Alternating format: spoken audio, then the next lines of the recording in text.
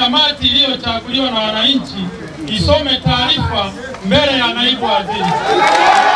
Hawa ni wananchi wa kata ya Lamadi wilaya ya Busega ambao wamejitokeza kwa wingi kwa lengo la kumsikiliza naibu waziri wa maji aliyefika kwa ajili ya kujionea mradi wa maji ambao umetumia kiasi cha shilingi bilioni kumi na mbili nukta nane. Mbunge wa jimbo la Busega Dr. Rafael Chageni anatoa taarifa ya maazimio ya kuundwa tume ya kufanya tathmini ya mradi huo, kisha naibu waziri wa maji Juma Aweso akaruhusu wananchi kutoa malalamiko yao.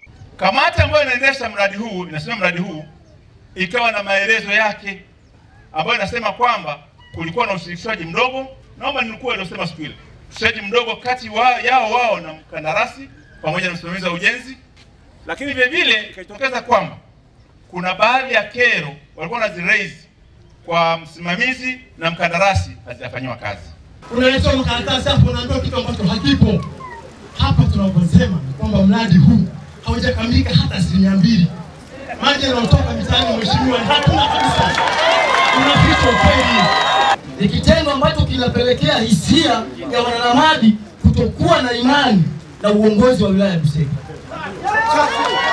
Huu mradi wa wa pili unawezaje kukinga ndoo ya lita ishirini dakika thelathini nusu saa churu churu? Mitaro yote imechimbwa chini ya kiwango. Wakati tunapewa semina, tuliambiwa vile vibomba vidogo vya kwenda kwenye familia vitakwenda chini sentimita 60 ili hata kama baadaye barabara zitaamua kuanza kulimwa zisikatwe sentimita 60 sawa na rula mbili kwenda chini. Kuna sehemu wamechimba hata lula moja. Mara baada ya kusikiliza malalamiko ya wananchi, Aweso anahoji wajibu wa wataalamu hao na kisha anatoa maamuzi. Majukumu matatu ya meneja wa RUWASA. kusimamia huduma ya kusimamia upatikanaji na uendeshaji wa huduma ya maji katika wilaya.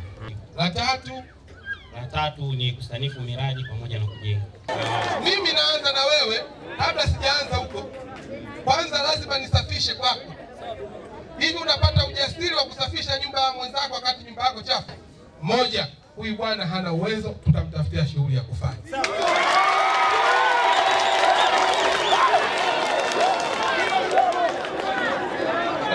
na, wewe bwana Felix, sisi tutakusaidia na wewe pia shughuli ya kufanya